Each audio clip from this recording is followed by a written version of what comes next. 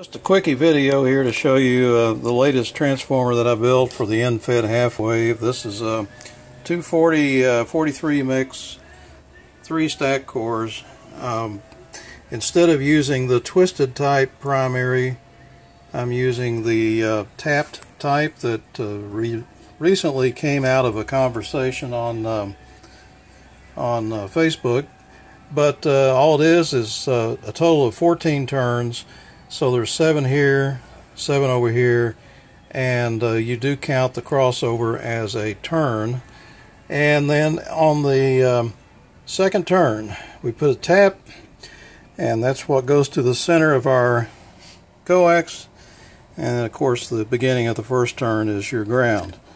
I've got a 3K dummy load uh, connected to the secondary, and um, we have um, 7032 here, 40 meters, and our SWR is 1.1. Very good. Okay. Now, that's the easiest way to build these things. There's no need to twist the, uh, the windings uh, that I have found, and this works just fine. And something else I learned during a hard rain last night, I had this hanging on my antenna, and um, I noticed that during the rain the SWR did not change even while running 500 watts.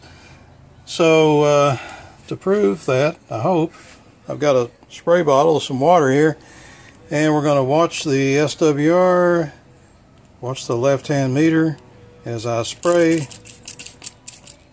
uh, water on it. So now it is wet uh, 1.1. Spray a little more. I spray it all the way around here as best I can anyway. 1.1. So it is, uh, I don't know if you can see this or not, but uh,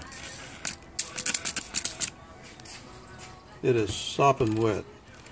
And our meter has gone to sleep, so we've got to boot her back up. Okay. It shows it went up to 1.2, and maybe that's because I bumped it or something. But uh, it's really soaked. Uh, one thing I I used uh, friction tape uh, here, and that absorbs water, so I don't recommend that. I'd use vinyl tape.